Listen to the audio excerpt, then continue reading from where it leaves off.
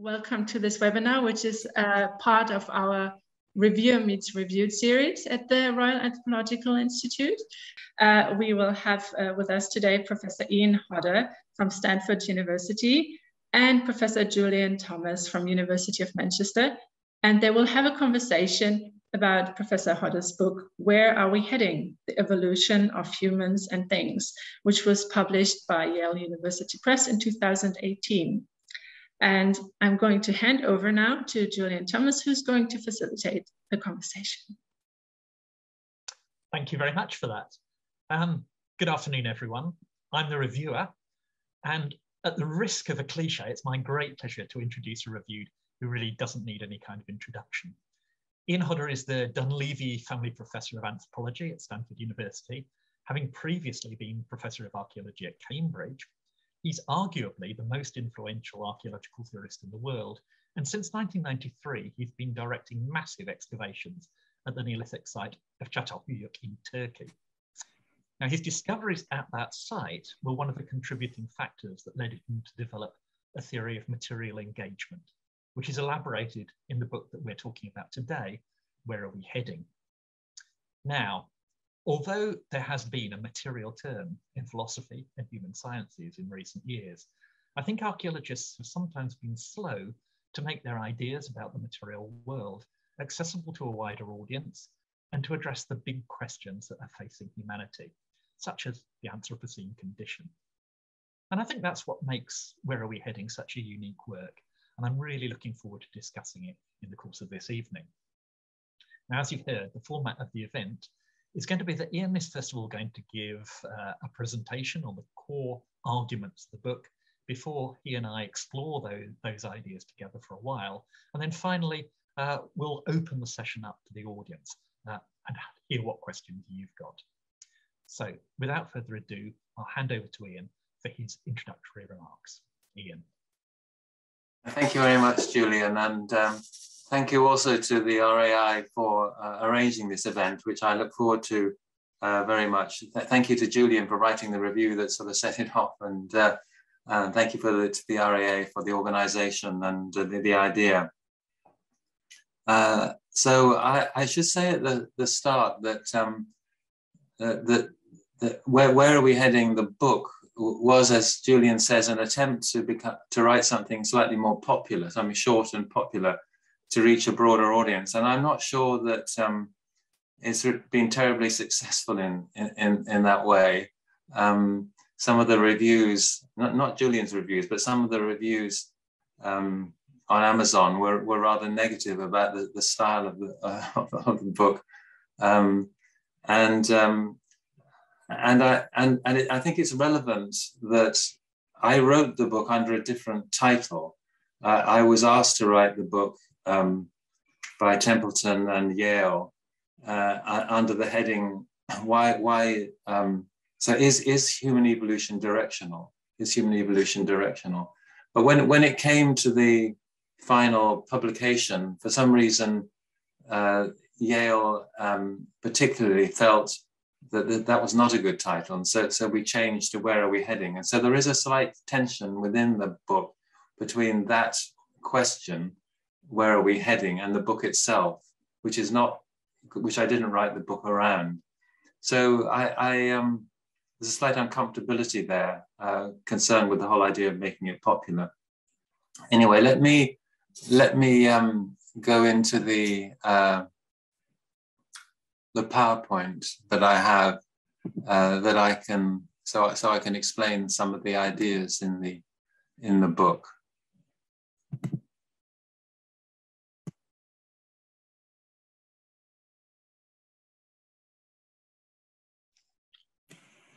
We can see them. Ah, yeah, good. You can. Okay, great. oh, good. Um, so the book starts with um, something that I understand to be fairly obvious, um, which is that if you look at many parts of the world, um, and maybe at the world overall, there has over time been an increase in the, the amount of stuff made by humans that, that um, have become part of the social process.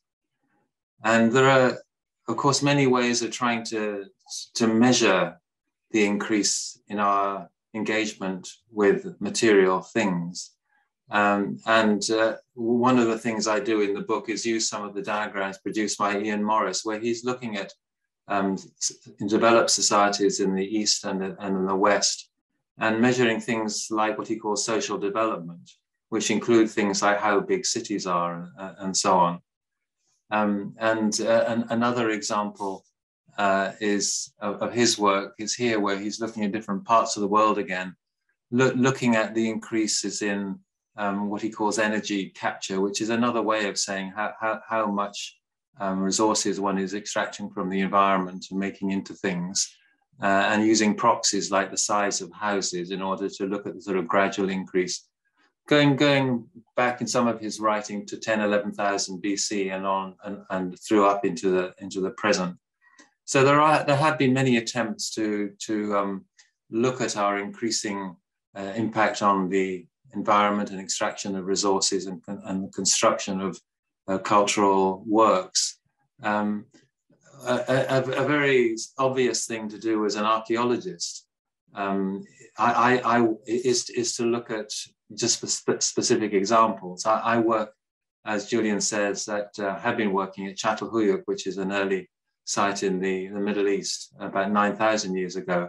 And around that sort of period, people were harvesting using sickles, as you can see here, which are very, very simple flint or obsidian blades, which are stuck into a bone or a antler handle. Uh, so, and, and, the contrast uh, in my daily life, digging these sorts of things up with the things, machines I see around me, uh, harvesting uh, cereals in the center of Turkey, these huge, enormous combine harvesters, which, which uh, combine a whole series of different functions uh, and, and, actually move around fields without any driver. They sort of feel themselves around. And, and they're part of a massive chain of parts that are, so you can see the warehouses where there are 800,000 parts of, of um, these machines that are provided worldwide. So sort of a massive scale difference in scale. Um, another simple example is, you know, I dig up very simple things like these spindle whorls um, which were part of um, the sort of technology you see at the bottom left here. And through time, from um, the, the Neolithic onwards, one gets this enormous change in spinning technologies, uh, so the spinning wheel, and then in the 18th and 19th centuries, the great expansion of, of spinning cotton and the whole in, and whole cotton industry that that um, uh, uh, one can document. Uh, another obvious example is um, the car, uh, or rather the wheel, the sort of emergence of the wheel uh, around 6,000 years ago in, in different parts of uh, Europe and Asia, and, and then the gradual expansion of the function of the wheel in not, lots of different ways, le leading to sort of modern cars, uh, where there are often uh, 20, 30,000 different parts in the car that are all manufactured in different parts of the world and brought together uh, in, um, in, a very, very, very complex system, which of course has enormous effects on, on the environment. So um, it, it, what, what I start with in the book is then this question of the, the increase in material stuff through time. And uh, then um, and and uh, and I want to recognize, however, that not all parts of the world were equally involved in this uh, this process, uh, and we could perhaps talk about that later. Um, but um, as an overall process, and in certain parts of the world, I think it's clear that this is this is what has happened.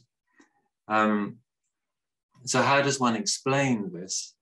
uh, I mean, obviously, many people have tried to explain parts of it historically, particularly over recent centuries. But my concern had been with the overall process. And uh, one way of explaining that would be through various ideas of progress, um, which would which would suggest that there is some sort of inherent drive that humans have to accumulate um, or to complexify.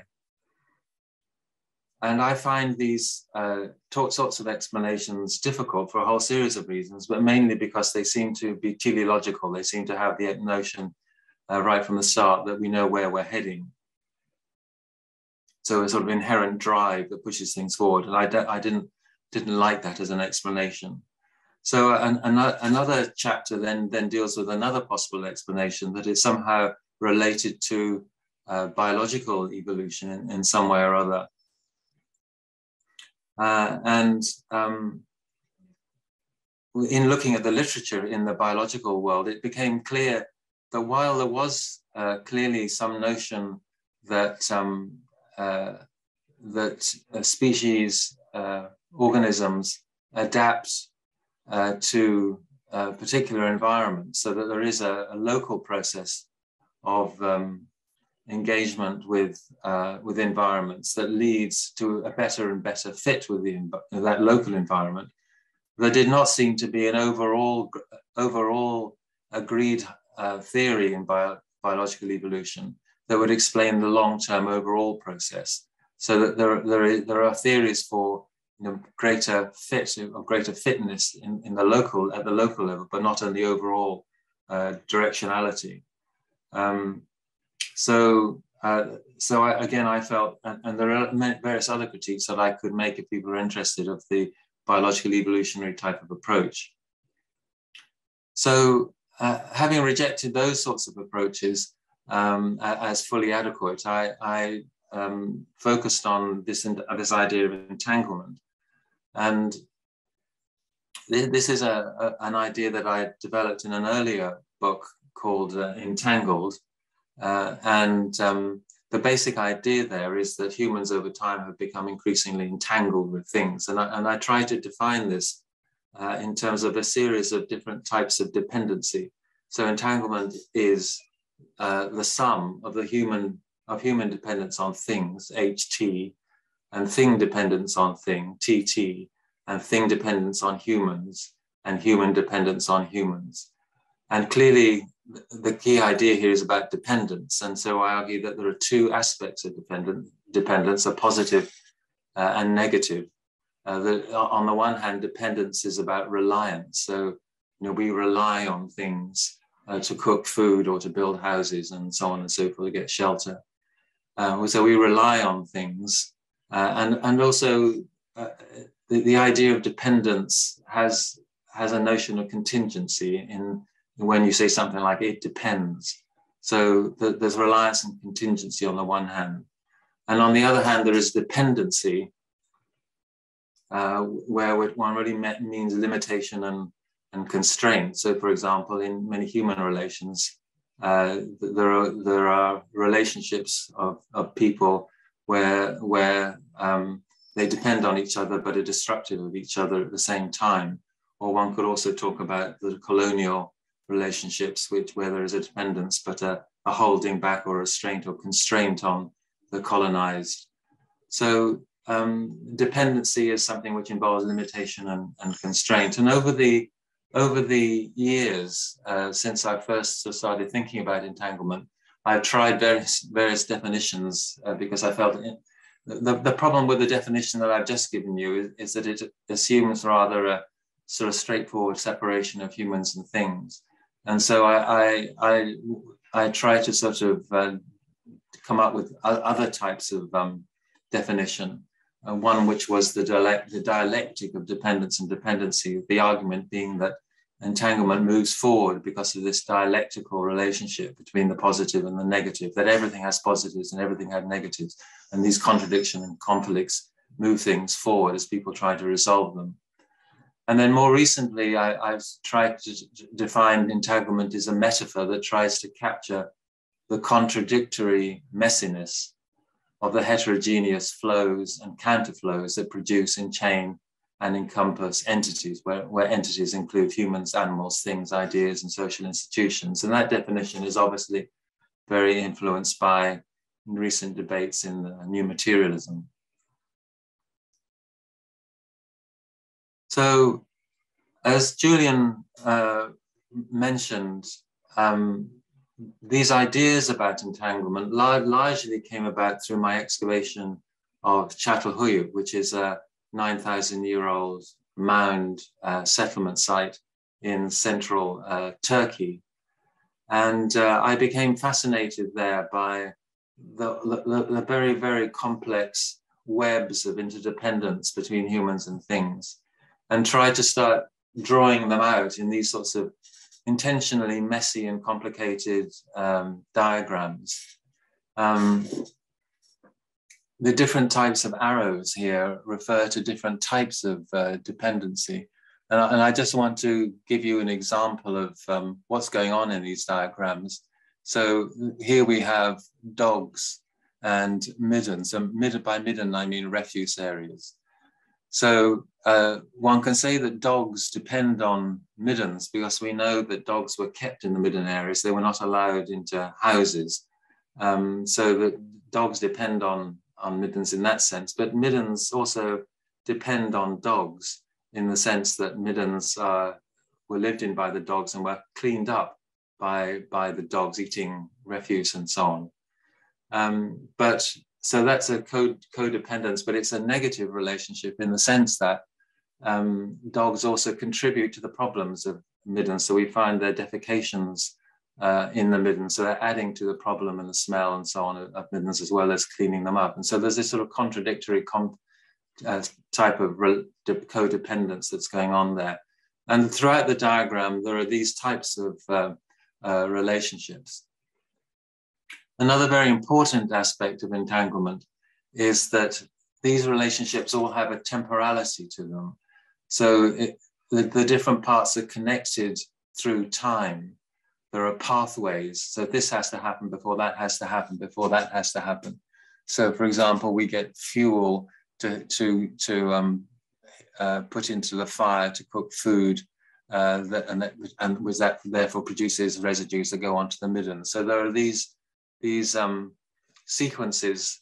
And, in a way, the whole entanglement is a whole series of uh, intersecting pathways that have to wait for each other. So it's a very, it's very complex and messy and contingent, everything depending on each other, but also waiting for each other uh, um, in, in complex meshworks. Uh, another sort of key idea in entanglement is the idea of entrapment, uh, which is the, the notion that humans get caught in a double bind.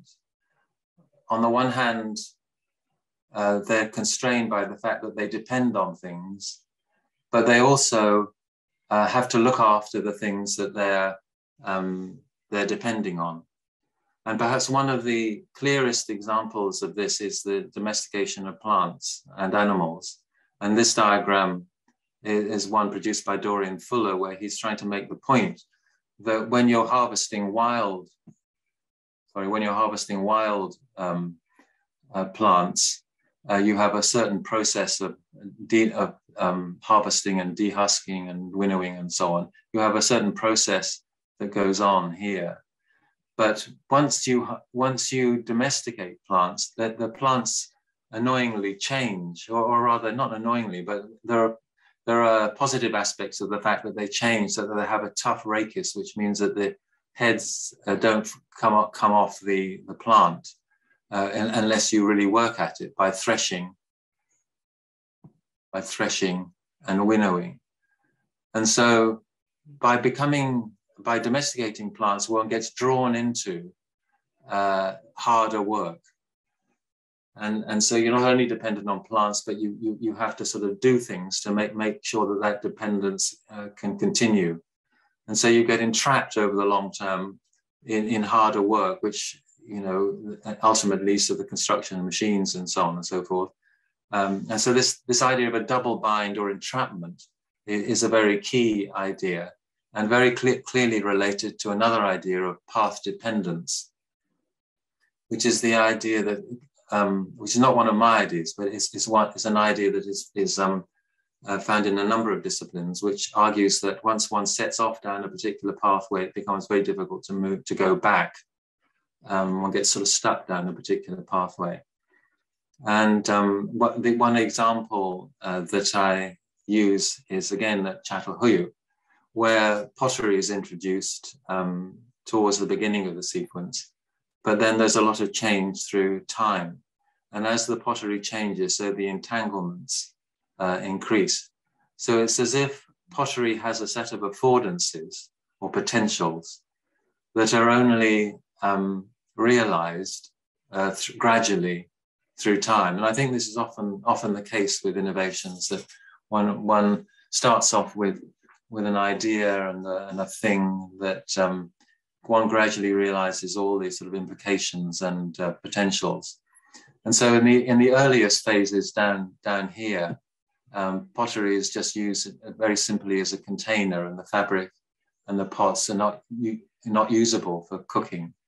But at, through time, um, cooking pottery emerges, uh, and that is used for a whole series of um, processing of fats and meats and uh, and milk products and, and so on. So the entanglements of the entanglements of the pottery uh, increase, and then th- further through time, pottery becomes decorated and it becomes used for storage. And so, with the decorated and the storage functions, again the, the entanglements increase. Uh, but one, but at, at, this early point, it would have been one imagines possible uh, to to say, oh, well, let's give up on pottery, as, as some societies do. Let's give up on pottery, and we we can go back. We don't want to go down this pathway.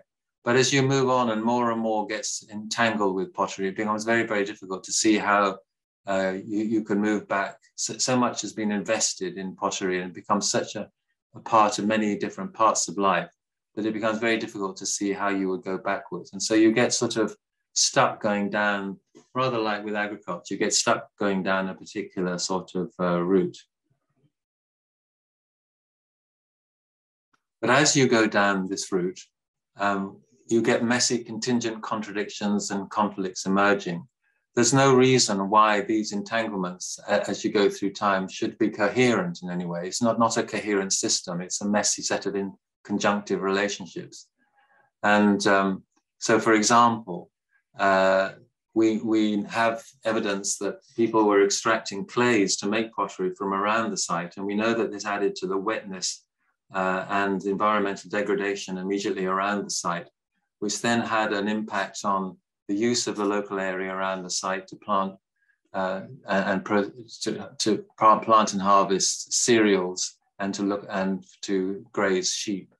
And so a contradiction emerged between these two things that then had to be resolved. And I, I would argue generally that, and there are other examples that I won't go into here, but that, um, that, that, generally as, as these uh, entanglements expand over time, uh, that you're going to get contingent contradictions and conflicts that, that emerge that then have to be resolved, which then leads to further entanglement. Well, more recently, I've been doing other work, which I guess the example of talking about entanglement is, is that it allows you to produce really messy diagrams uh, that, that look just hopelessly complicated. But what I'm trying to do here is to show uh, that the whole series of different types of sequences or processes uh, through the occupation at Çatalhöyük, so through time from about 7,000 BC to about 6,000 BC. But through these this thousand years, uh, more and more things got entangled with each other, producing conflicts and, uh, and, and, contradictions. And one way of talking about that is to sort of pick up, pick it apart and look at particular parts of it. And here I'm just suggesting that if we looked at cooking um, as, a, as a process, what we see through time is that a whole series of um, of processes like living in the house and building houses and cooking and use of baskets and so on come together are brought together uh, through a set of contingent factors uh, in the middle of the sequence, uh, uh which, which then leads uh, to the, the need to, to resolve those problems uh, by, by using pottery for cooking rather than the previous function for cooking, which had been to cook with clay balls. And so the, the argument here is more generally that you have these different pathways, as I showed earlier, that come into conflict or friction with each other, which have consequences that both produce transformation of um, those pathways and the emergence, the, the sort of, um, and emergent properties like new technologies such as um, pottery for cooking.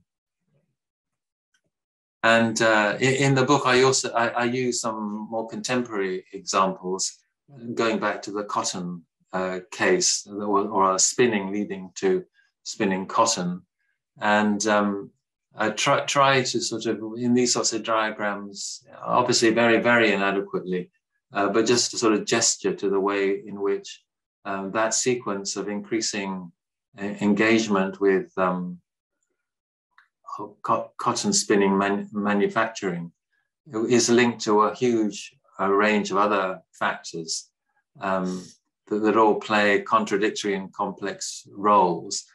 And for example, um, one of the problems that emerged in the uh, later 18th century were, was that um, cotton could be produced with cheap labor in uh, India that undercut the production of cotton, which is largely done in the home in, in Britain. And so people who wanted to invest in cotton, uh, in order to compete with the, um, the low price cotton coming in from India, uh, in, innovated by developing uh, the, the water frame and then gradually other, other types of mechanical um, co cotton, cotton spinning uh, that, that then led to the production of factories and the movement of workers from domestic contexts into factories and, and all the other things that are associated with, with the Industrial Revolution. So that, that's just a small part of this very sort of complex set of interactions that's going on where you get conflicts and contradictions emerging that are dealt with and resolved by increasing technology uh, in certain directions. So that what in general terms, this is a, one of the diagrams in the book that you have this sort of sense of um, uh, a cumulative cone of affordances that develops through time, whether the cones of entanglement uh, around them um, that also expand as the affordances are, are recognized. But there are endless conjunctions or conflicts and contradictions uh, that emerge between these, the, these different components, uh, pushing the whole thing uh, forward.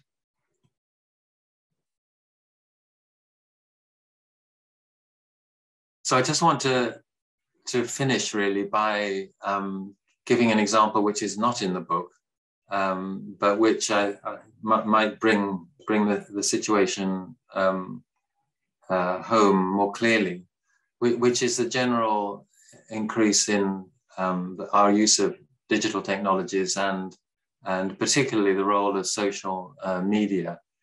And at one level, um, one of the most obvious points here uh, is that um, while we tend to think and, and, separate off our iPhones or our smartphones from the energy that produces them, um, that there, of course, is in fact a massive uh, use of energy uh, that is sort of behind the scenes in these hidden um, servers on, a massive scale. So we tend to talk about digital technologies as if they're very light or airy. So we have words like the air book or the cloud or the web, these sort of light things.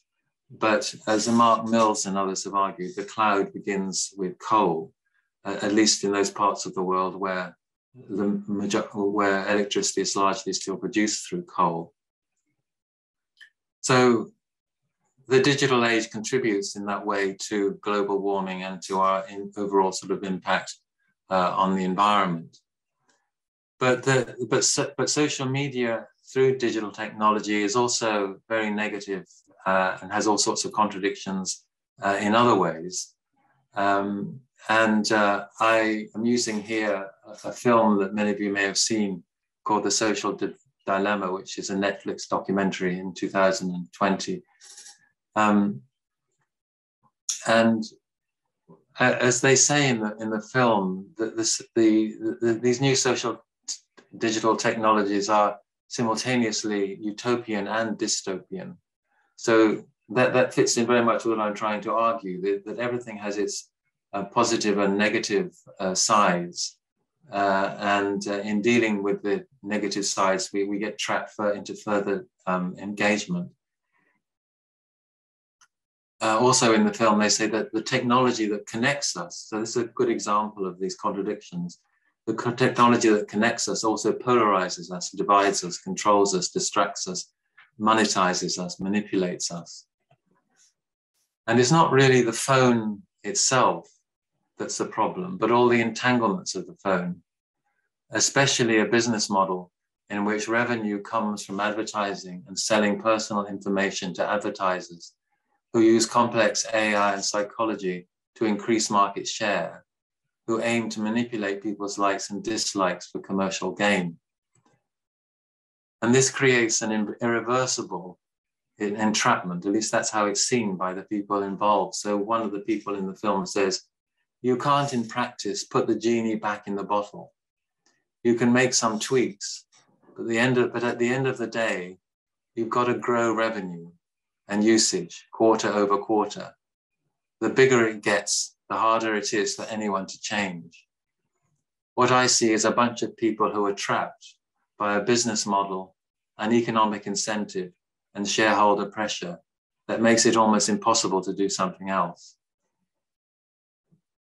of course, one could say very much the same about the car and the way the car and various other technologies that we have developed um, are leading to enormous impact on the environment. And many of the solutions to how we deal with this environmental crisis involve yet further technological intervention. And this is sort of a cartoon that sort of makes fun of the idea that we deal with um, global warming by pumping um, sulfur into the upper atmosphere, which is one of the solutions that geoengineers are, are suggesting. So this is, if you like, the nightmare that results from um, uh, the processes that I've been talking about. Uh, and, I, and I hope that in some way or other, this discussion of entanglement contributes uh, to, the, to, the, to, the, to, to our understanding of, of this process. Um, it's clearly very, very difficult. I found it difficult writing what was supposed to be a popular book uh, because one gets drawn into making very general statements at a very um, superficial level. Um, but nevertheless, I, I, I, felt and still feel that it's important to try and make the points that I'm that I'm making here. So that's that's all I have to say as an introduction, Julian. Thank you so much, Ian, for that very clear introduction. Um, I wonder whether I could start by taking you back to the 1980s and to a time when you were defining a symbolic and structural and contextual archaeology. And one of the very important things that you said back there was that material culture is not passive but active. And I wonder whether there's a direct strand of continuity that leads from where you were then to where you are now.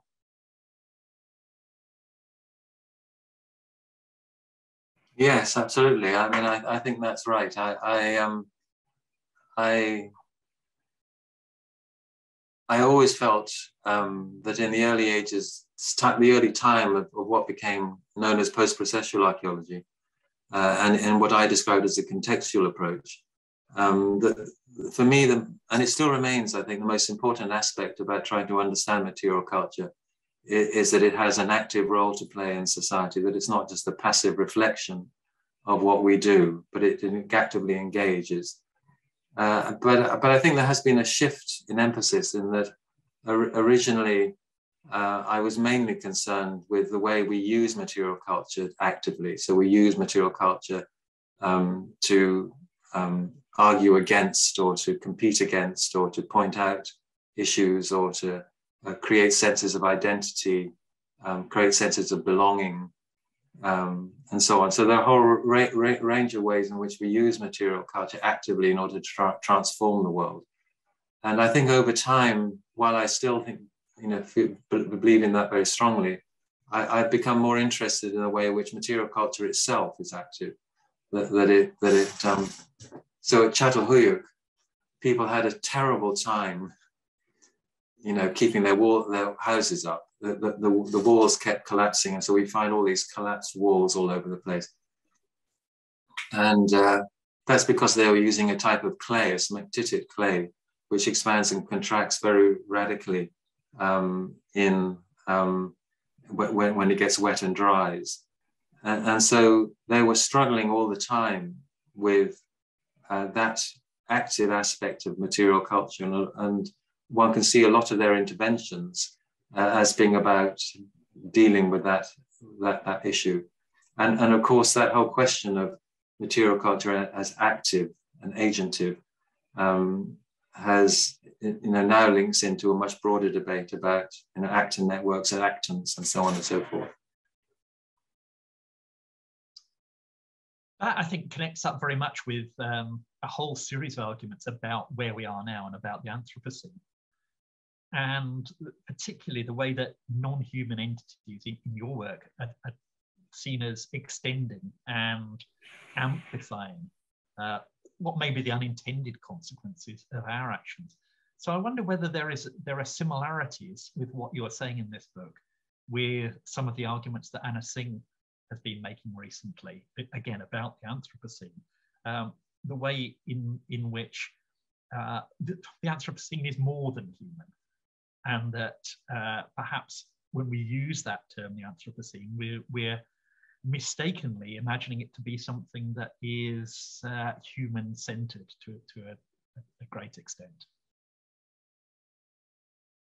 Yes, I mean, I, I have lots of problems with the Anthropocene, um, largely because it seems to assume some point, some point in which we um, we're, we're, not, you know, affecting the environment, and, um, uh, and and I think the evidence is that you know way back into the Paleolithic, you know, very very early on, we were having impacts on on the environment. But um, I, I, it, it, I'm afraid I, I, I mean, I know Anna Tsing's work on mushrooms and so on, but but I, but I'm not sure I, I uh, know the example that what you're referring to. But but but certainly I, um, certainly there seems to be a way well, hmm. maybe you could rephrase your question, Julian, so that I don't no, go off at some strange angle. I was really just pointing out to the way that she's been talking about the um, the Anthropocene as something that is more than simply the effects of humanity, because everything that we do gets bound into a whole series of connections with non-human entities of various kinds, and those outcomes keep escaping us and keep coming back and biting us in ways that, that we don't expect. So the perhaps much of the discussion on the Anthropocene has been a bit anthropocentric, and she's trying to say, well, actually, it's it's far more than this.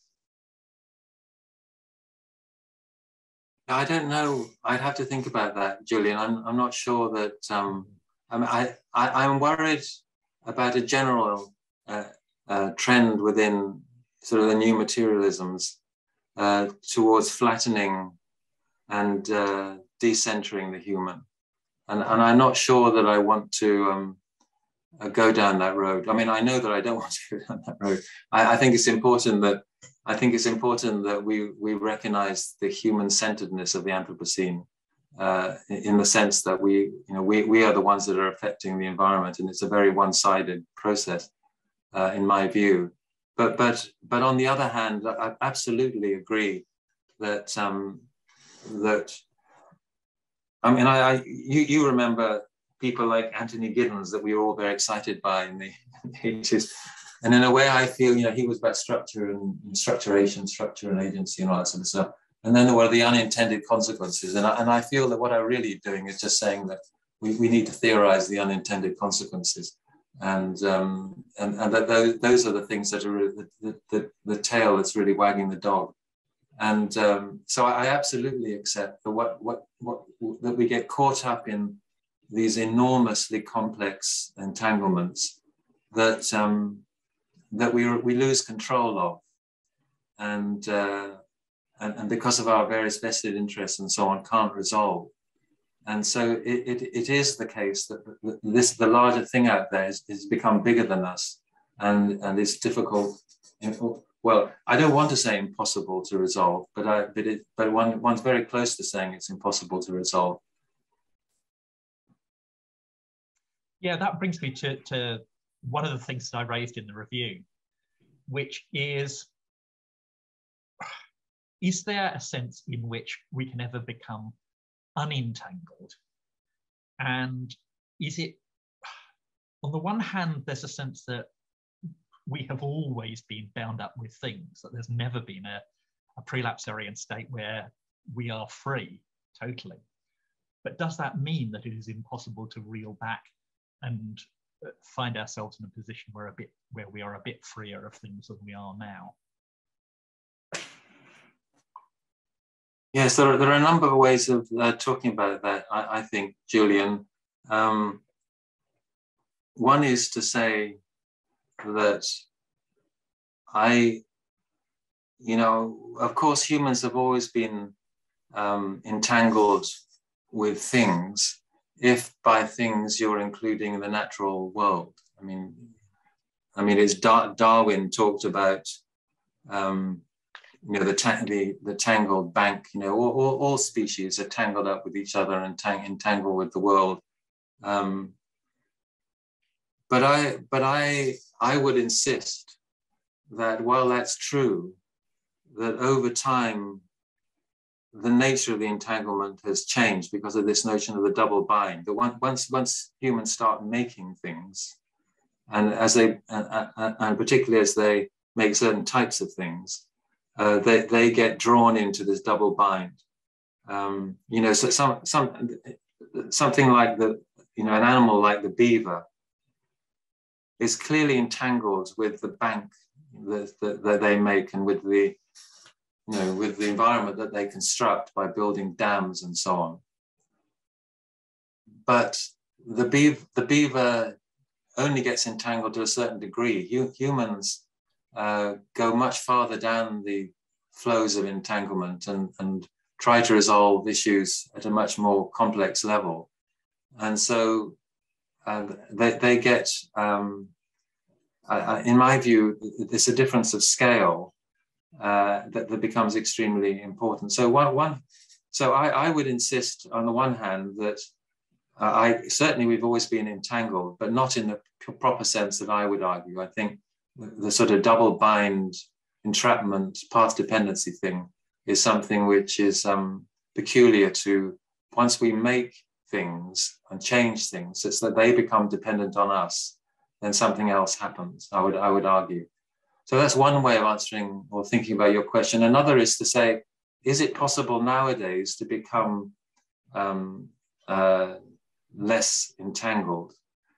And of course there are huge numbers of movements out there of people trying to do just that. You know, lots and lots of environmentally um, conscious people doing responsible things, uh, shopping in a particular type of way, uh, being minimalist in, in the way of life, becoming more ascetic or spiritual. And, you know, there are lots and lots of ways in which people uh, are trying to become disentangled nowadays. Whether yeah, and I and I and I'm very supportive of that, and, and I would hope to contribute to it. Um, but clearly, there are lots of problems about you know is, is, it only certain types of people who can afford to do that sort of thing?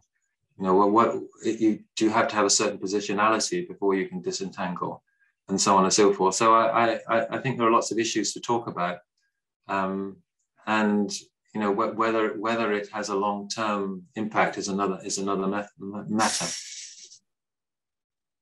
I think that's really interesting that there's a kind of a paradox that you're identifying that the beavers, once things get so bad, they just forget about it and leave the dam. It's almost because we care and have concern and wish to preserve things and conserve them that we keep putting more and more effort into that process of conservation. So it, it's it's a it, in some ways, because we're so bothered about things, that the things entrap us and make us care for them even more. Yeah, but why do we care about them? Mm. I, I, would argue we care about them because we're entangled with them. You know, um, I mean, beavers do make a great effort to to um, to, to fix the dam, and they they only give up when things get really bad.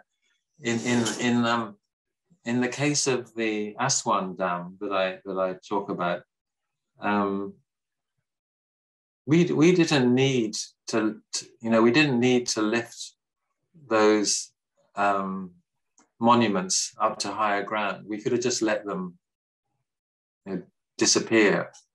We don't need to save heritage. Why do we care about heritage? And, and I would argue it's not because we have some fundamental care, you know, towards heritage, but that you know, the heritage has become something that we we're entangled with. And there's a global movement to care about those things because it's in people's interest to care about it. You know, there are institutions and, you know, UNESCO grew up around the Aswan Dam and so on and so forth. So there's an institutional concern and people realize that there's an opportunity here to, to do something. Um, uh, you know, we industrialization creates the fact that we're destroying things and and then we care about them uh, be, be, because we, we develop a concern. It's not from some underlying notion of care, but because in a particular context, it's become something that we care about. You see what I mean? Mm. But that can lead you in two directions. One is to say, well, let's stop the industrialization and let's stop the, the harm that's being done to the world. But you could also say, well, let's just let things be. Let's let them pass away. Perhaps we yes. shouldn't care about. Kind of yes. Well, I absolutely. I'm afraid I, I'm of the view. I'm I'm afraid I'm of the view that um, you know, in certain contexts, that, that might be the right thing to do, uh, but, but clearly not in other contexts. There are, there are many contexts in which I would fight strongly for people to be able to um, um, assert their identity and their rights through heritage. And, and uh, um, yeah, so it depends. That's what I'm saying. It's not, there's not some sort of overall, overall you know, we don't have to care about heritage, but but but but it, but but it, we, we, do, and quite rightly do, in, in many contexts. Uh, you, you said at the very beginning that you started out by writing a book about evolution and perhaps about both social evolution and biological evolution. And uh, with social evolution in particular, you're very critical of the teleology, uh, the stadial character of systems of, of um, social evolution and the sense that they're, they're bound up with the idea of progress. And one of the authors that you don't mention is Thomas Malthus. And I wonder whether there are some similarities between Malthus talking about the way that human ingenuity keeps coming up with new ways to allow people to have a better life, but all they do is create more population uh, and so that human misery just gets worse and worse and worse. Uh, and this is meant as a, a, kind of counterblast against the Enlightenment. I wonder whether there are commonalities between your arguments and what Malthus is saying.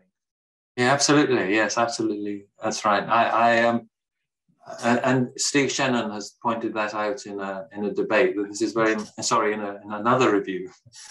that, this is that the argument is Malthusian rather than Boserupian, if you like. Yep. Um, coming on to what you're saying about cereals and blades in the Neolithic and opium and heroin in more recent times, um, you're talking about the way in which connections ramify. And I wonder whether there's a spatial element to that, and there's, there's more to be said, said about the spatiality of a theory of entrapment. Yes, absolutely. I, I um, although I guess um,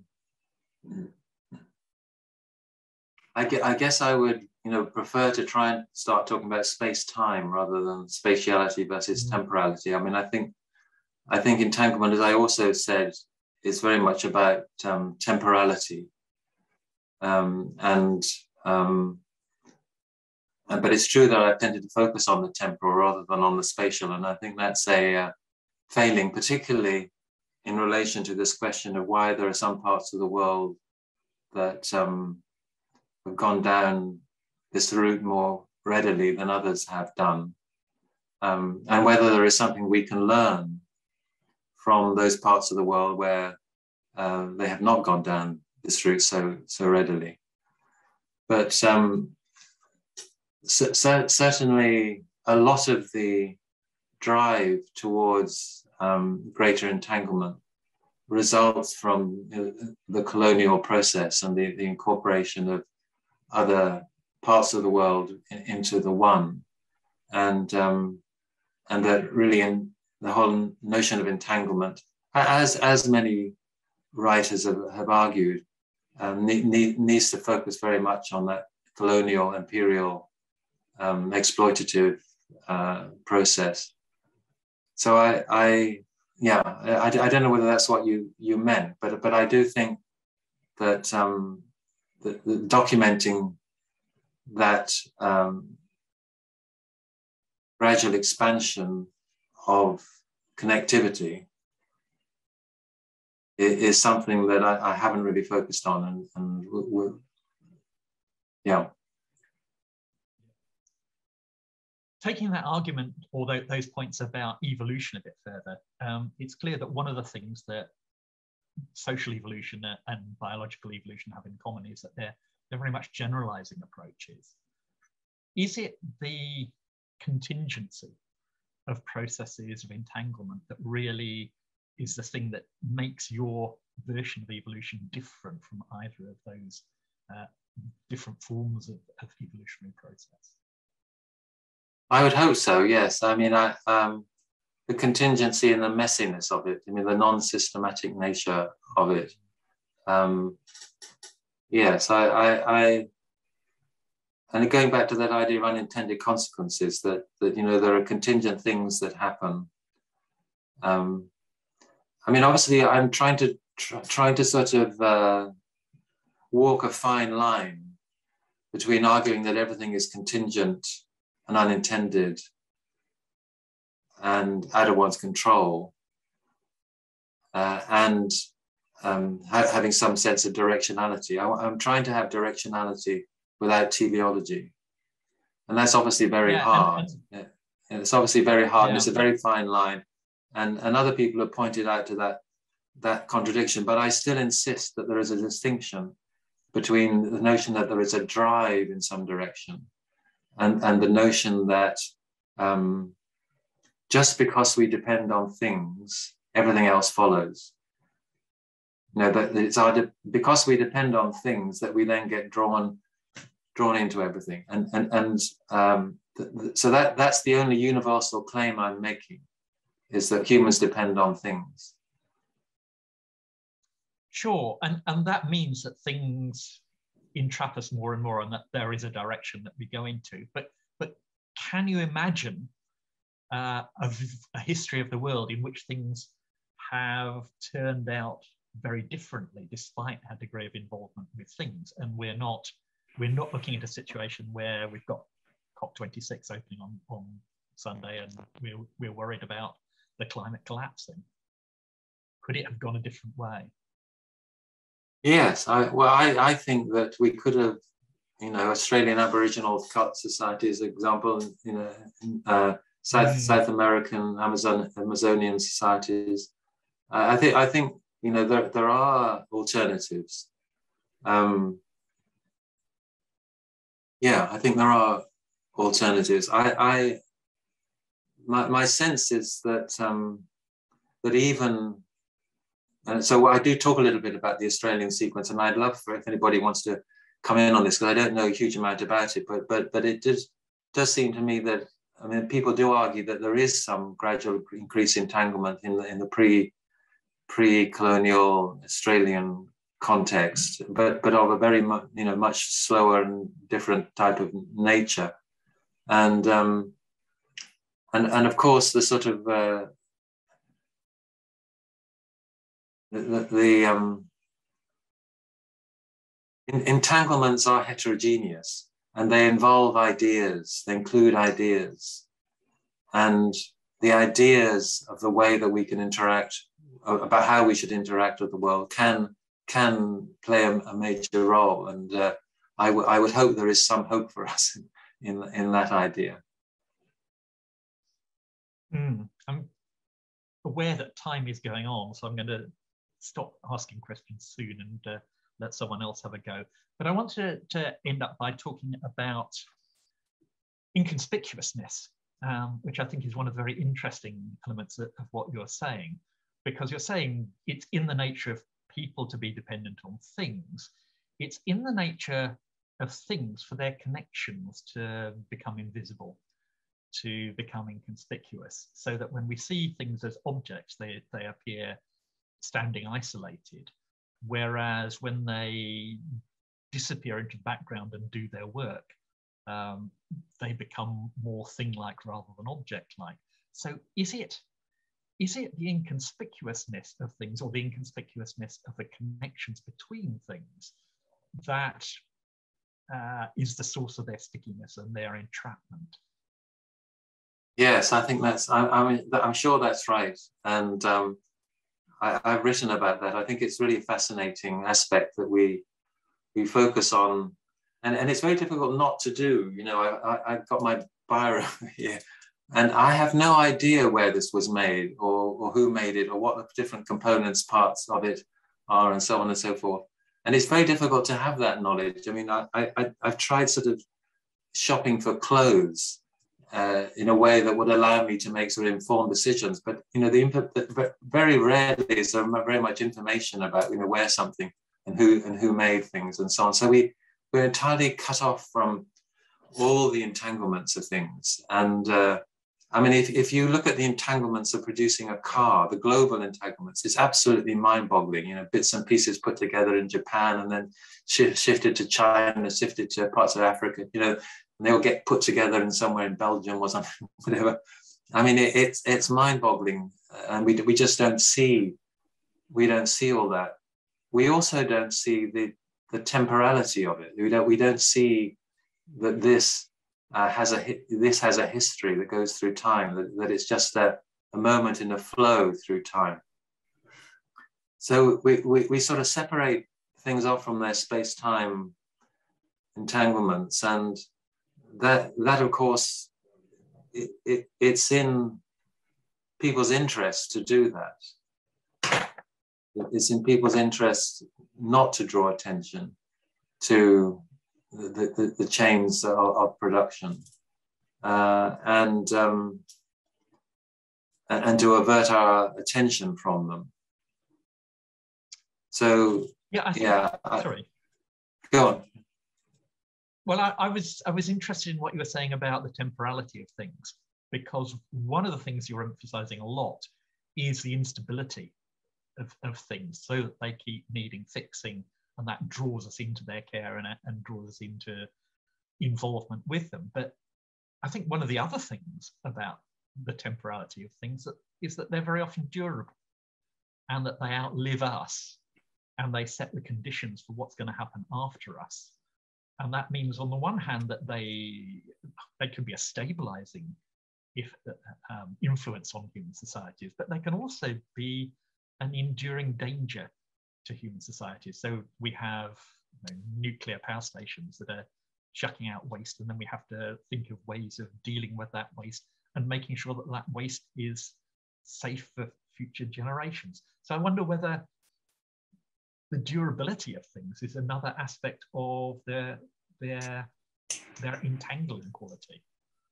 Yes, absolutely, and that so that that for me that relates back to the point I was making about those messy diagrams. It is that that there's lots of history in them, and and uh, lots of um, build build up of uh, residues, if you like, um, that uh, we.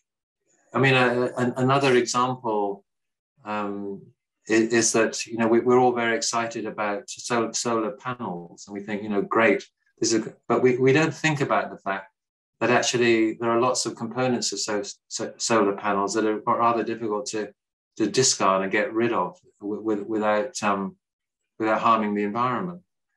So, so it, over and over again, we don't think about that. You know what you were talking about the sort of longer term, the, the longer term durability of things. Um, yeah.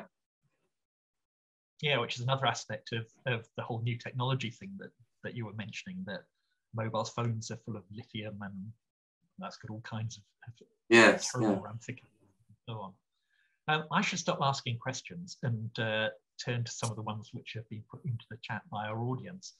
Uh, the first one is from uh, Lara, it says the idea of entanglement can be applied to political turmoil, for instance, corruption in many governments, as if there's no way out but a revolution.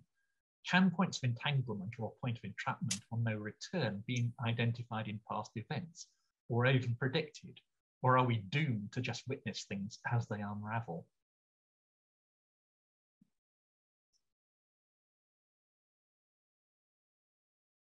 Yeah, that's a really interesting um, question. I I am.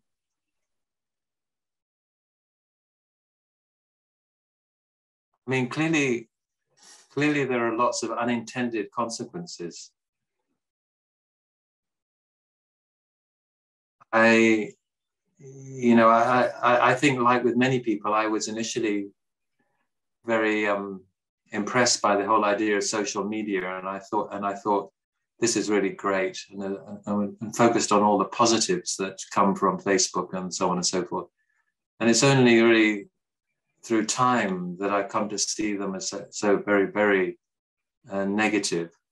Um, could could one have seen that in, in advance? I probably probably one could, um, but but I think what one's so invested in these new things and so excited by them that they that tends to sort of take over um, I, I, guess one one knows that there's a problem with nuclear waste.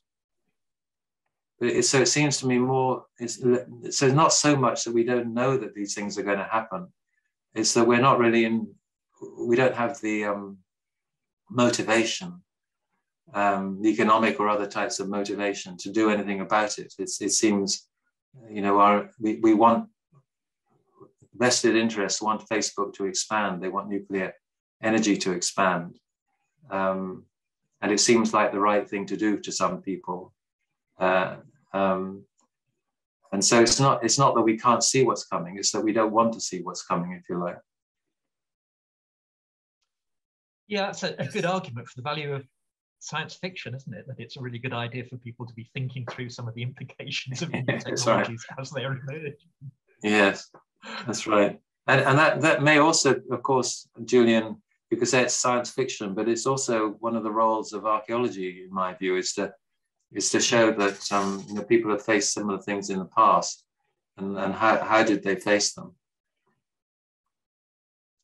Yes, yeah, and there certainly are things that repeat themselves and, and problems that are similar, but I wonder whether it's in the nature of the, the gathering of complexities that you're talking about that there are challenges that emerge that simply are unlike ones that we faced before.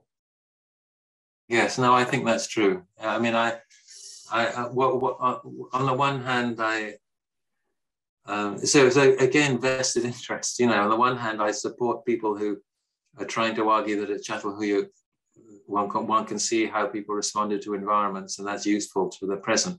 But on the other hand, it's clearly very much a stretch. I mean, the sort of nature of Çatalhöyük society is so, so different from the things we face today that I'm not sure that the lessons are really very learnable. Yeah, and uh, that, that brings me to, a, to another question that I was going to ask, which is, we're talking about an evolutionary process by which entanglement and entrapment increases. Overall, do you see that as a sort of smooth, gradual increase, or is it a punctuated equilibrium? Are there are there particular horizons at which the, the degree of entanglement suddenly increases? Yeah, that, that's again something that's come up in some of the um, comments and reviews of the book. I, and I, I'm in two minds about it. And I, for me, it's in, in a way a sort of um, it, it's a factual question that we, we could try and resolve. But uh, on, on, the one hand, it clearly is the case that there are you know moments of great sudden punctuated change. You know, like the late 18th century or um, uh, the Roman era or, or whatever. I mean, there, there, there are these moments of sudden. Oh, yeah, yeah. you, you, and I might see that, Julian, but I'm not sure that. Anyway, Absolutely. yes. Um, so on the one hand, I think there are these moments and increases and declines, sort of booms and busts, absolutely. Uh, and some of Ian Morris's diagrams uh, show that. But um, on the on the other hand, I, I'm I'm much more attracted to the idea that behind the scenes, there is this sort of gradual everydayness change, you know, the everyday small little changes that are sort of churning along and, and that these, these sort of burst out in, uh, in, into sort of sudden rapid change. You know, like the sort of uh, the collapse of the, you know, in our lifetimes, the, the collapse of the Soviet Union is an example of one of these sure. sort of sudden events. It was amazing. I mean, why, why, did that all happen in a couple of years? And um, but but it was you know there was a lot of stuff that it wasn't just like that. I mean there were lots of things going on for a long long time that that um, underpinned that. So so I I have I'm two minds about the punctuated thing.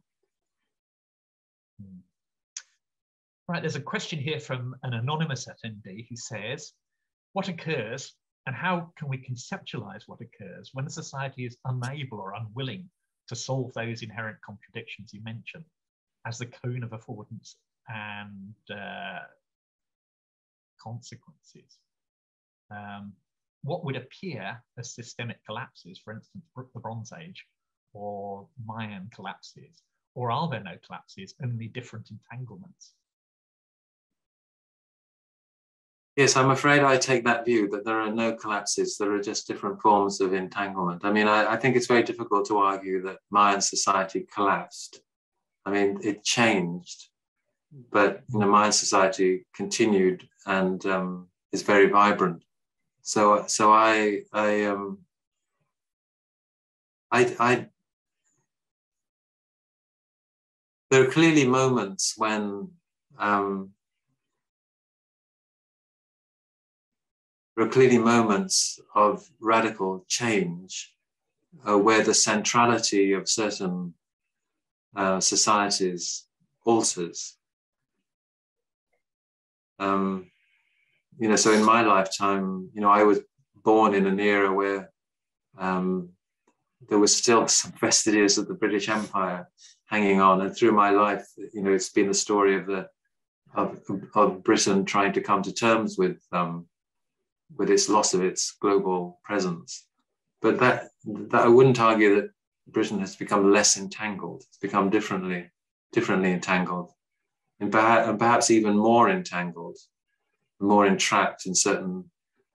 You know, I, I think the, the question of who is more. I mean, I think we, we haven't talked about degrees of entanglement, these degrees of entrapment, and I think it's very important to say that um, some people are more entangled than others, or more entrapped than others, uh, and uh, that you know, I, I, have written about the poverty trap as an example in, of entanglement, and that it's much more difficult for people at the lower end of the of the income scale um, to, to disentangle it is for people at the upper end. And uh, people get really trapped in poverty uh, because of the sort of way that um, economic um, deprivation is linked to educational deprivation and health deprivation and, and so on and so forth. There are all these entanglements it's all those entanglements that make it impossible really for people to to um, go up the social ladder. Um, people are very trapped at the bottom level. So I, I, think that's true, you know, globally as well. And I think it's, uh, you know, that, that inequality that's, that's within entanglements, I think is a very important part of the story.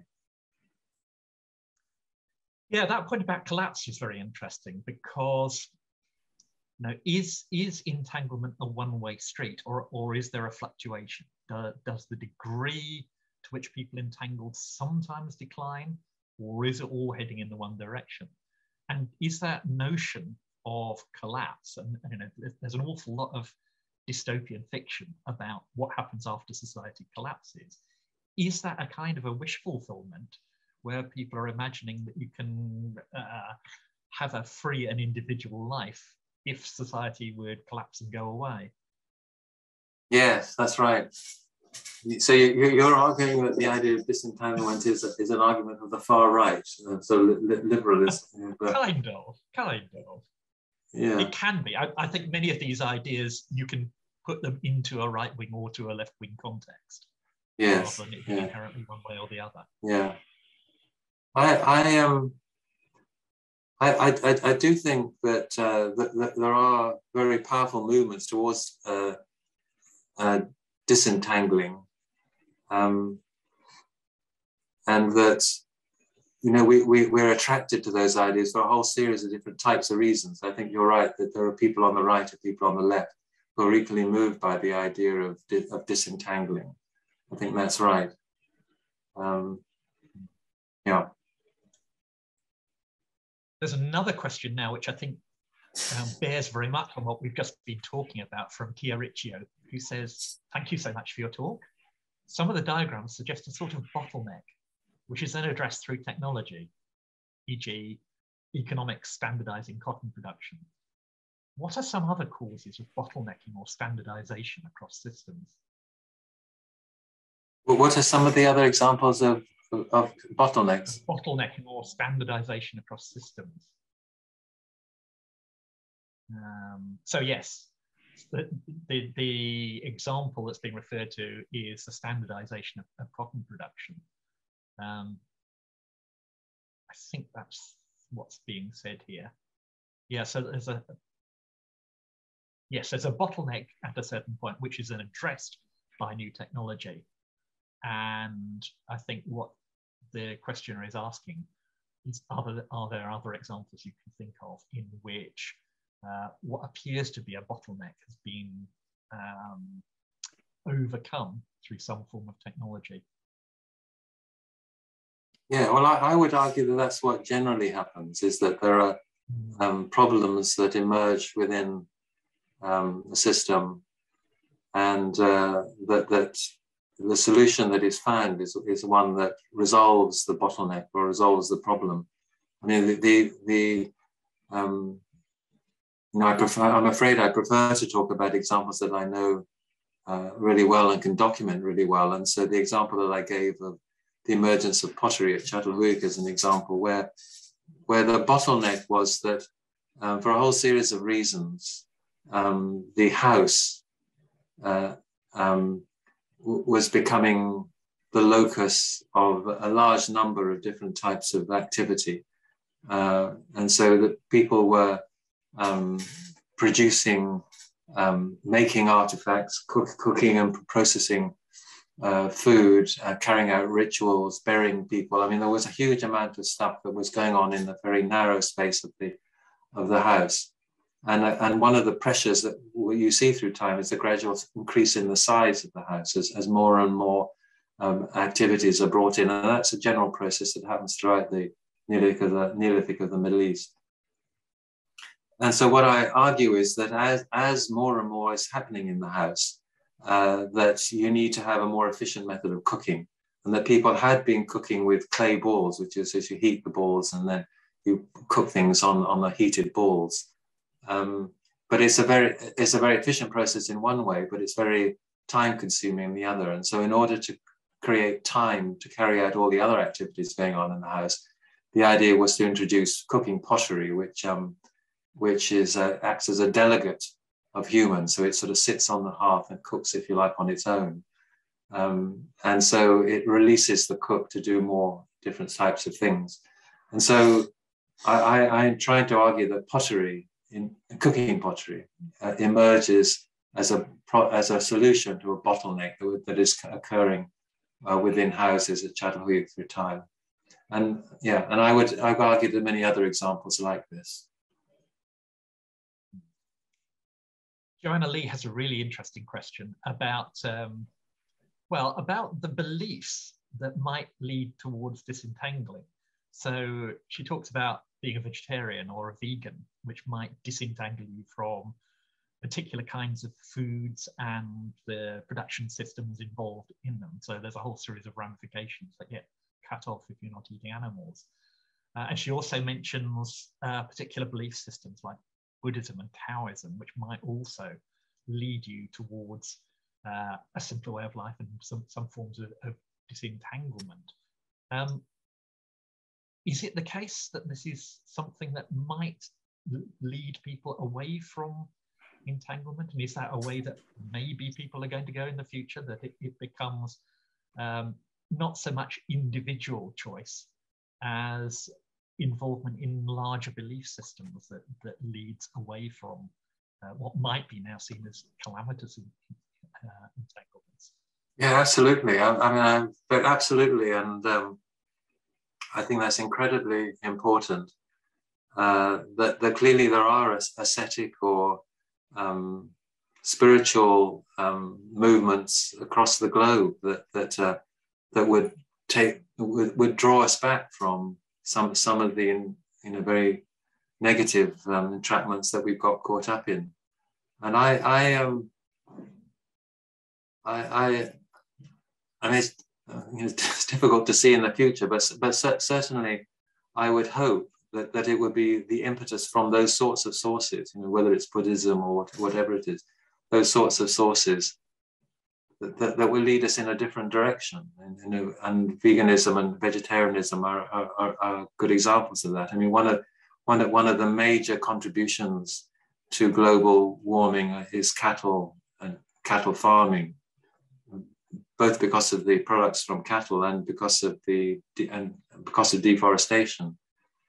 And and if we were to stop eating, you know, beef, uh, that that that would um, you know be a major contribution. But but i i um, i have a sort of yeah I, I, mean i'm fascinated by the notion that what that what is fundamentally needed is is a change in our orientation with the world. And i don't see that happening unless it's through some sort of spiritual engagement with the world in, in some way. Uh, there's another interesting question from Mariuszka Swatek who's talking about um, earlier on, you were talking about object agency, uh, different ways of thinking about materiality and the new materialisms. And she's asking whether you could say something about issues about, say, climate, climate change and environmental change, and how those notions of material things being active uh, are connected with those kinds of, of, of issues and processes. So the question is, what is the relationship between the new materialisms and climate change? Well, I suppose it, it's more how um, ideas of active material culture and object agency might affect the way that we think about issues of climate change, uh, environmental issues, and so on. Yeah. Um, I, you know, my, my, my, my concern about the new materialisms and the, why I'm critical of them, even though I, I, I guess my work is part of them, is, is that I, um, I, I feel that once one has talked about the notion of you know heterogeneous assemblages of things, you know that, that that's really about as far as one gets, and, and it's not, and there's no real dynamism to it.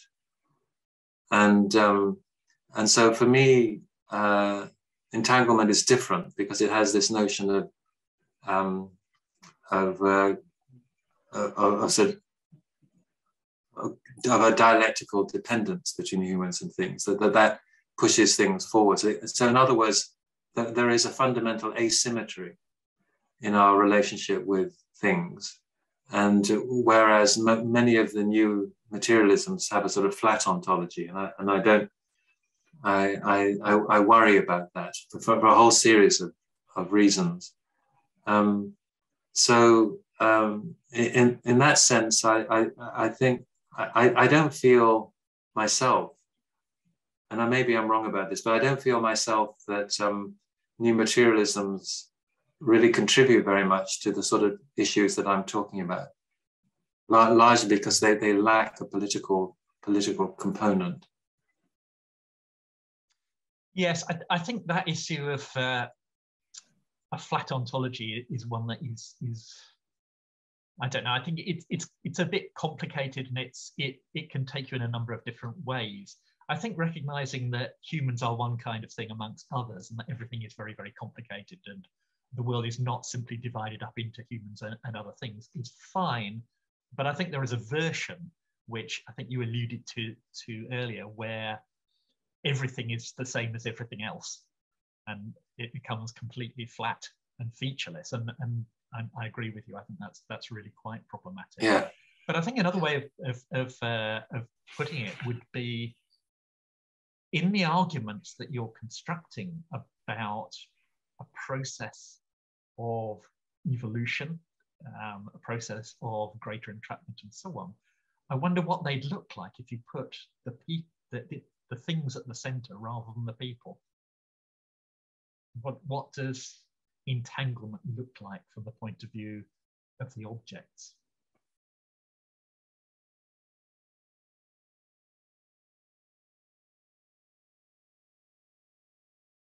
Yeah, but I, I mean, before I go down that, that road, I, I, I want to say that I, I very much resist the decentering of, of the human mm. and you know that that's um, you know we live in a world in which the major concerns are to do with things to do with black lives matter or um, in, in gross inequalities and um, uh, my, you know migration and movements of people uh, uh, uh, you know we live in a world of extreme um, inequality and hardship for, for many. And uh, I, I, think we need uh, approaches that contribute to an understanding of the way we treat each other and of the um, inequalities that we we have created. So, so I, I sorry about sort of banging that drum, drum but but but I, but I just think it's extremely. So I'm very very much against uh, any sort of decentering. Um, however, um, clearly one, one can ask the question, what, what, what, what does it look like from the point of view of a pot, you know, Çatalhöyük, to, to talk about entanglements. And, and, and, you know, a big part of entanglement is not the human thing relationship, it's the thing thing relationship. And, uh, you know, we, we were talking earlier, you were asking earlier about this invisibility. We don't see the, all the uh, connections and you know you know i'm sitting at my laptop and i don't i don't notice really the fact that it's plugged into the wall you know it, it and, and, there is a whole there are these huge great machines out there producing electricity that, that comes so so um, with, with the with the pottery at uh, from the point of view of the the clay, if you like, or the makes the pot. what, what entanglement in, involves is a sort of massively increased amount of connections with things, and um, uh, that, that thing that things are becoming dependent on other things, um, and that the translations of things through different media and so on are becoming much more complex and uh, frequent. Um, so that the so that the milk that used to go from the from the, the, the sheep uh, in, into the human now goes into a pot and gets changed into cheese, which gets changed into so on and so on and so forth.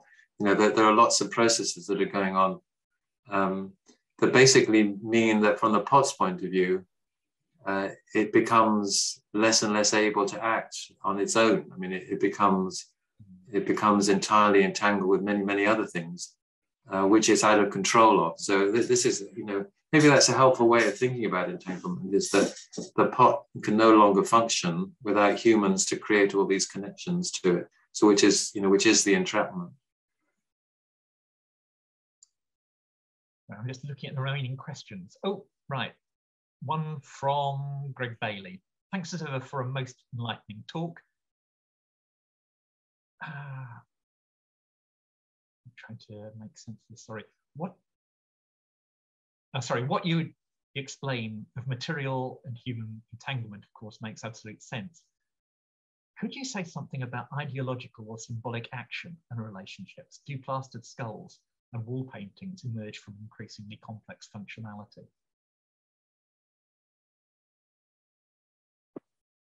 Yeah, I, I, I, I could talk at great length about, you know, whether we become entangled in ideas and what, what, what is the role of ideas. I mean, part, part of my answer is that I, I don't think it's possible to talk about the immaterial or ideas or symbols without things. I mean, I think um, the material and the ideal uh, are always entirely um, linked up to each other. So that, um, you know, some of the biggest things we produce nowadays uh, are the product of ideas. You know, the Hadron Collider is, is in search of, you know, search of theories about subatomic particles or or cathedrals and mosques and temples and so on are the product of ideas um, uh, about religion. And, and um, at Çatalhöyük, I think it's the same, that there are, there are ideas that develop which are entirely material or very much they're linked to the material that are about you know, passing down ancestral bones and about um, uh, teasing and killing wild animals and putting their their artifacts in in the houses and so on and so forth. That the, these these are all different forms of entanglement that that have uh, an origin uh, in a set, a set, of ideas of, of, of, various sorts. So so I, I, I don't think it's impossible. I don't clearly one also gets entangled in the ideas themselves. But what I'm really talking about is the way that ideas are always uh, embedded in things.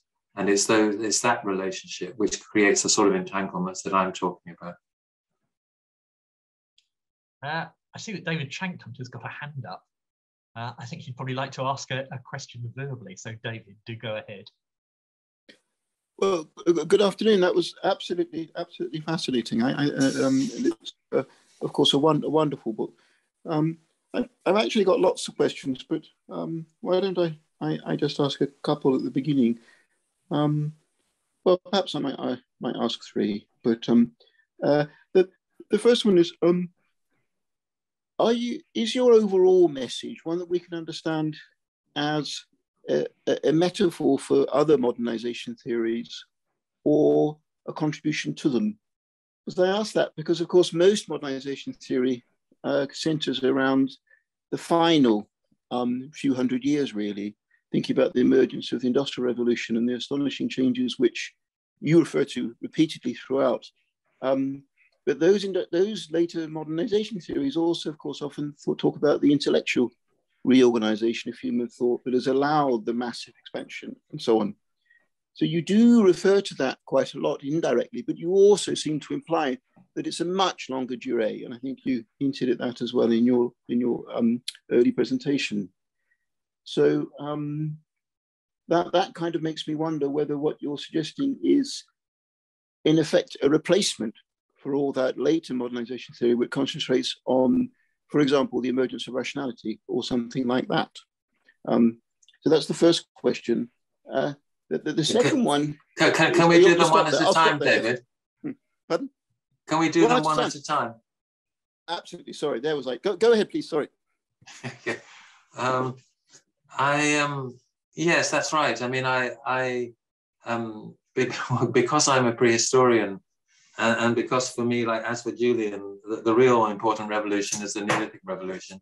Um, I, I certainly do take a long-term view, and and uh, it seems to me I, I, would argue that that the 18th, 19th centuries, or whatever, wherever, wherever one wants to put it, um, the Enlightenment period and onwards, um, that, that, that, that is simply a, a in terms of the entanglement that I'm talking about is, is just a specific um, example of something that go, has gone on for a much, much longer period of time. And that the, the sort of process that I'm talking about began when humans first, uh, when humans first started making tools. And that, that, that, that, and from then on, there is just this sort of gradual, gradual process with its ups and downs and bumps and so on, a, a gradual process of increasing entanglement. Uh, and, and certainly, you know, the break that is caused, you know, we were talking earlier about, you know, spiritual relationships with the world, the break that occurs with, you know, the, the emergence of rational thought and objectification and separation of the mind and matter and so on. That, that, that, that's an extremely important uh, event that has all sorts of implications. But I, but I would see it, as I said, as, as part, part of this longer term process. I, I, I, it annoys me, I'm afraid, that you, you, very, very often in talking about modern problems, one, one sees them as starting from that, that period rather than taking a longer term view. Mm. And that, that's for me fascinating because it sort of brings me into something I've also been thinking about, which are the implications of your writing in this general way for those of those of our well, those people we might advise who say to us, should they become archaeologists? It seems to me, in part, you're redefining the role of archaeology. Um, I don't know whether you think you are, but you know, by saying, well, in fact, by implication, that we should we shouldn't bother too much about the past in many ways. You know, so therefore, what role should we tell people remains for the archaeologist? Because it presumably can't only be to help people self-identification, because that just leads to a kind of an an endless regress where you simply get ever multiplying groups all redefining themselves through, media, through material culture. And then where's the role of the academic in that? Um, yeah, I, I, mean, I, I, I, teach, I teach, um, I should say uh, in your introduction, Julian, you said I was a professor at Stanford and I wasn't until very recently. I'm now emeritus. I just wanted to make, make, make that point. But I, I, have, I have for some years taught a course at, at Stanford called Digging for Answers and that takes uh, five uh, questions of our big questions of our time. the, the idea is to choose five big questions, you know, and, and they are things like sort of cl climate change uh, and, and, and, inequality and, and so on. Um, and, uh, and, and consumerism and I can't, I can't, can't, remember the others. Anyway, five big questions of our time. And, and, it, and it argues that um, you know, you get a different perspective on those questions.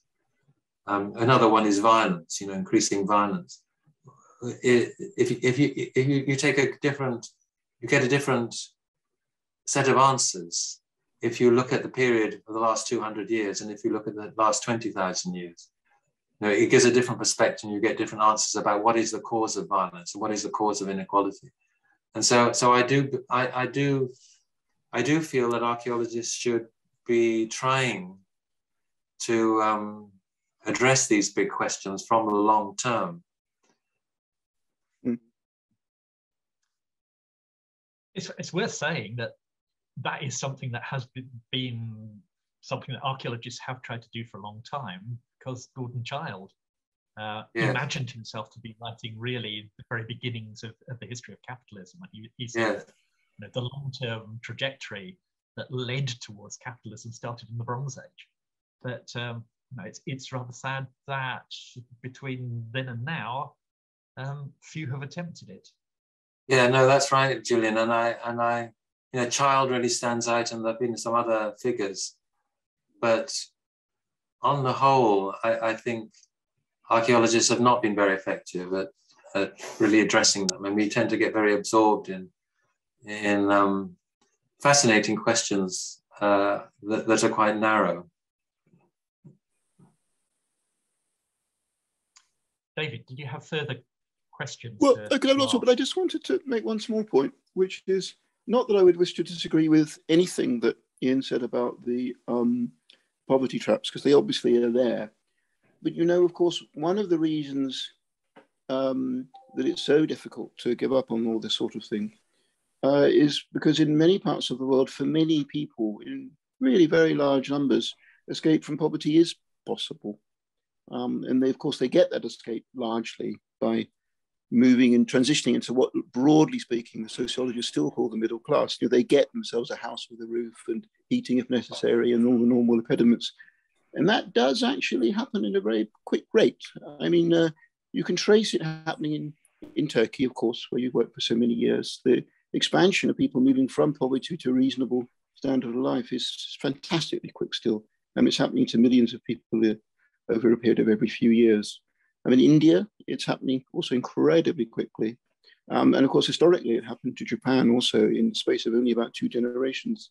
So I'm certainly not wishing to, to, to say that there's anything wrong in the book, but I'm just saying that, that, that, that in fact, the escape from poverty trap, because it can actually quite often be successful, it acts perhaps as a, as, as a kind of a chimeric goal that people are still trying to reach. And some of them do, in fact, make it.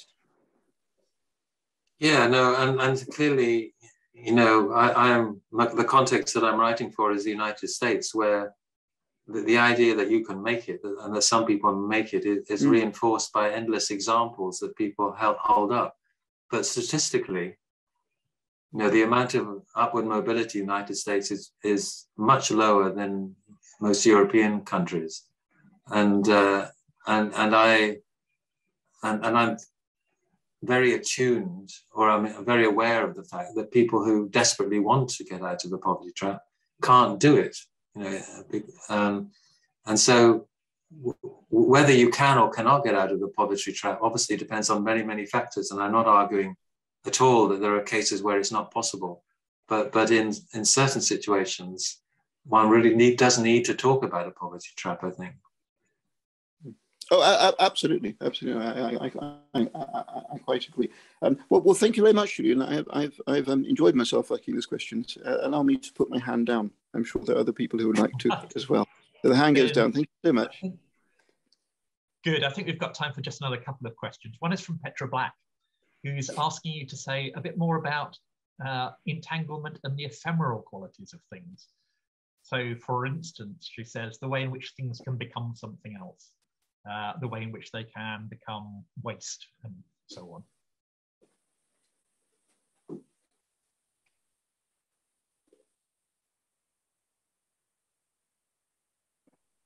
Yes, that things become waste. But that, um,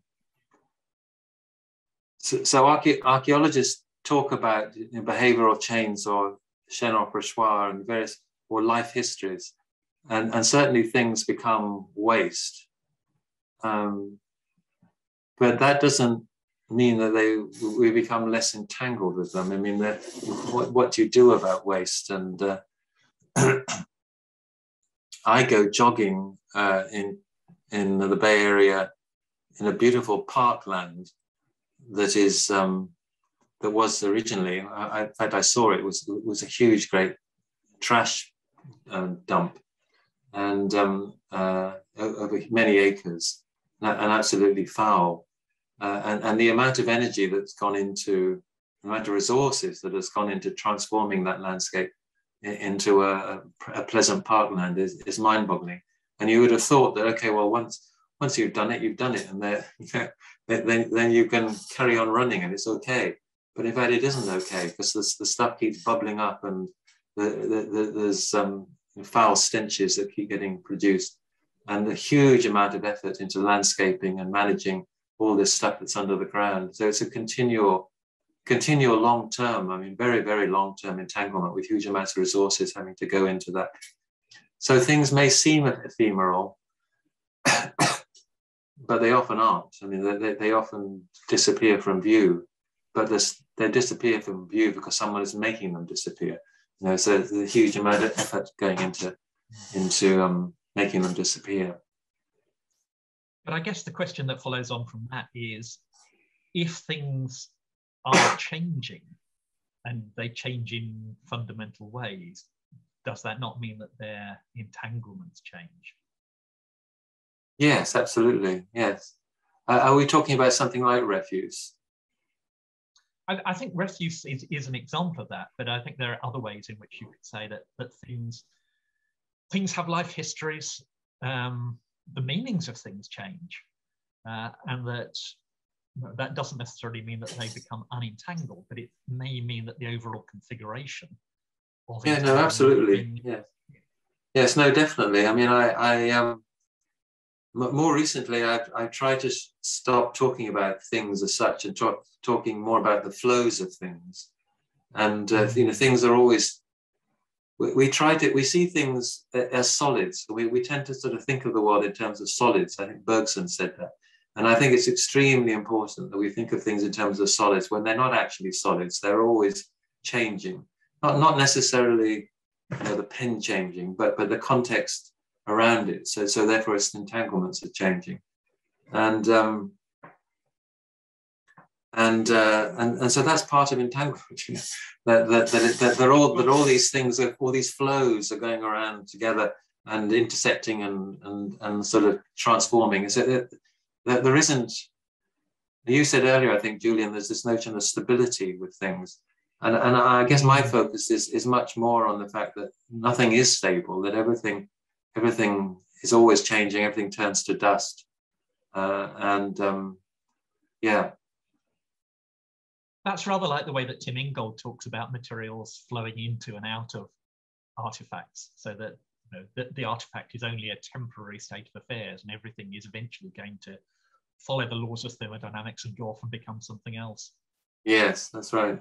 But uh, but I'm talking slightly. I mean, I think that's true. But but it's also the case that this pen, you know, is you know it's more like in a Gell sense that, that this is part of a history of pens, and and you could draw battleship curves that go around this thing, you know, and and it, this is the shape of it is not not because it's not just because it's functional, but because the previous pen was a, you know was a so this is, has a legacy from all these other pens that come through it. And, and so it, it's just, just a, a, part of a flow, but we don't see the flow, but it's there. And, and um, so this is reacting to things before it and after it. You know, it's it's um. So yeah. there's a kind of historical flow and a material flow through. Yes, exactly. So there's two types, two types of flow. Yes, yeah, yeah. yeah.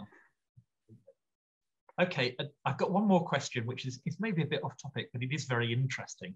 Um, Emily Hayes is asking about Çatalhöyük and um, how the outcomes of your work have flowed into Turkish educational contexts and textbooks. Um, that does seem to be something very interesting to hear about. Yes, no, that is very interesting. And um, um, raises a whole series of issues that I would uh, love to talk about um, and work on. Uh, so I, I had to, I've just retired from Stanford and I'm going and I've started uh, teaching at Koç University, which is a university in Istanbul, which is where I will be based. Uh, and, and so I'll be able to answer your question more fully when, when I've um, done more teaching at Koç and, and talked to the students and so on. Um, I, I, think you know the, the question is very very complex uh, because you know Turkey um, is a society with many different groups of people in it, um, and with different sets of interests and different relationships with the past. And um, while while for some Çatalhöyük has had a clear uh, impact, for others, um, because of our association with uh, Western intervention. Um, for, for others, what we have done has been um, has had less of an impact.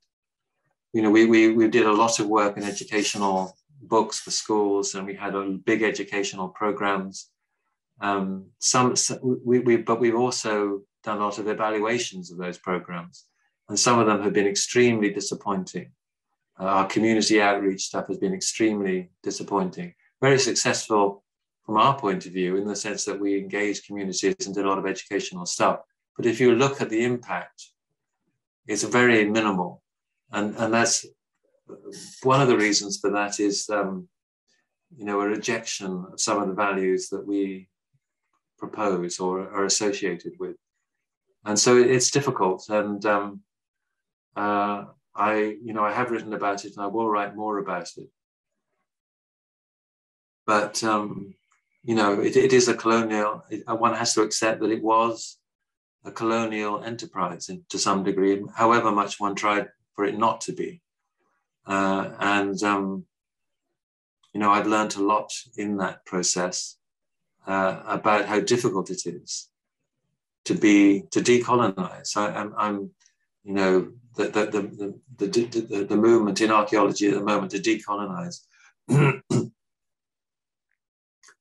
is, in my view, um, raising issues that are, that are not as easy as some people seem to think in terms of dealing with.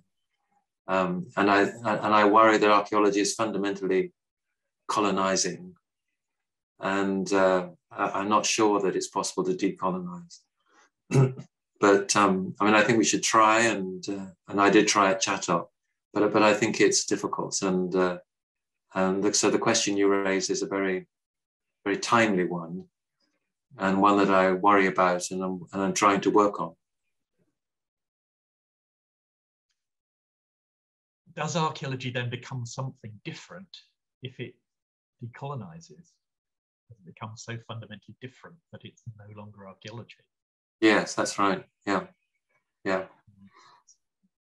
I think we've got time for one very last question, which is from Matthew O'Leary, He's asking about you about your own role as an archaeologist in the flow of things.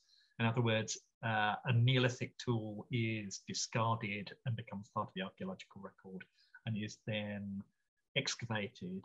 Um, what is your own ro role then in the flow of things in that, that kind of a process? Yes, that's that's a nice question. I, I um I, I felt at Çatalhöyük very entangled you know, I, I um, by the past and by the present, and uh, um, I felt very much the decisions that we made early on had a lot of impact later later on. You know, one one in a very simple, obvious example is that when one digs at, a big tell site, one has to throw the earth somewhere. So you have spoil tips once you've put the spoil tip somewhere, you can't really dig underneath it. So, so you, you know, you, you've, and, and another example is once you start digging at a big tell site, um, you're really on a path dependent process because, you know, you start at the top and you, and you have to go down and down and down for health and safety reasons. So you end, you end up with a very, in a very small bit at the bottom. And, um, and you can't really go back. You can't ch- change that. Uh, because you've invested so much in the, in the clearing of the top. So there are a lot, whole sorts of ways and that I felt very much part of a path dependent, entangled process. And uh, you're asking about the artifacts that we, you know, that we excavated. Uh, again, I felt very, very much that I was part of the flow in the, in the sense that I could make decisions but they were very constrained by Turkish law and um, and by local museums and by local interest groups of various sorts. So that while I could contribute to the flow of the of the, the artifacts through the you know through the process, I, I, had very little say in really how that worked out. And so you know one clear example is that I would have loved to have put many artifacts on display, but for a whole series of political reasons, uh, most of those artifacts are now in um, in storage uh, cases, and um, it, needs a new politics for that stuff to be brought out and put on display. So, so I'm part of the process. We made decisions, but they all were very constrained and they were all very path dependent. I said that uh, we finish with the questions, but every time I say that, another one pops up. So I'm going to have just one more to, to round off with. It's from Victoria Brandon, who's saying, as we become more aware of our entanglements and of the environmental damage that they cause, can we influence their direction? Can we influence the temporal flow? Uh, or does the entanglement have a kind of a, a chaotic mind of its own that resists us? Yes, I, I, I, I, I think that latter is true. That, there is a sort of um, um, juggernaut aspect to it. You know, that that it that there's so much entangled together that it's very difficult to pick it apart and do much with it. Um, it, it, it, seems like it has a mind of its own, but of course it doesn't. Uh, in, in you know, we, we can do something about it. We can we can intervene, um, although that's very very difficult. I mean, it, it's very in, in the climate debates. I, I'm very struck at how most of the discussion is really about how we reduce carbon emissions and so on. Um, how, how do we clean up carbon emissions, for, for example, rather than looking at why we're why we're producing emissions, in, in which you know I'm arguing is a lot a lot of it is to do with um, our, our investment in consumption and in new technologies and so on. So, so rather than saying, you know, we should stop using iPhones or stop buying new cars or, or, or so, we, we say somehow we stop the emissions. And so I worry that we, we're not really dealing with the fundamental question. Um, we're, we're, rather dealing with the symptoms rather than with the cause. I mean, obviously that's a gross, gross generalization, and there are many, many movements who are doing what, what I'm arguing we should be doing but nevertheless, it, a lot of the debate seems slightly off kilter to me. And um, so that's one of the ways in which I, I think it, it is very difficult to um, redirect the juggernaut. Is that you know, we're not often not really seeing what are the real causes. I think that's a, a really good question to end with. so I'd like to first of all thank the audience very much for their attention, for being here, and their questions. And then I'd like to ask, uh, um, thank Ian greatly for answering all those questions and for being so uh, so helpful in in presenting this work and uh, telling us so much more about it. So I'm now going to hand back over to Habeen. Thank you so much. I'm going to just be short and say thank you, Ian, and thank you, Tom, uh, Julian. Uh, it was really a wonderful, interesting conversation you had, and I think our audience thought the same because of all the questions that came in. So thank you for everybody to coming to our event, staying along till the very end, for those of you who are still there. And uh, I wish you all a wonderful uh, evening and also a good day to you, Ian. I know it's in the Thank morning. you. okay, thank you so much. Thank you, thank you so much. I've enjoyed this very much. It's been a great pleasure. Thank you, Julian, and thank you to all the questions. Really great. Thank you.